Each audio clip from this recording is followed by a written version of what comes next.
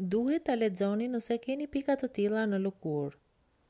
Milja e njohur ndryshe si pikat e qumështit është një sëmundje e lëkurës që shpesh ngatërrohet me pika dhjamore dhe mund të prekë si bebet ashtu dhe të rriturit.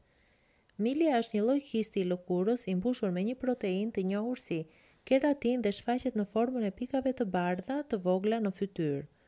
Këto pika shfaqen kryesisht rreth syve, hundës dhe gojës. Por, teksa tek fëmijët largohet më shpejt, tek të rriturit mund të jetë disi më e vështirë për t'u hequr. Dy janë shkaqet kryesore se përse njerëzit zhvillojnë pika të qumështit. Njëra më e zakonshme tek fëmijët ndodh pasi gjendrat e tyre të djersës nuk janë të zhvilluara sa duhet.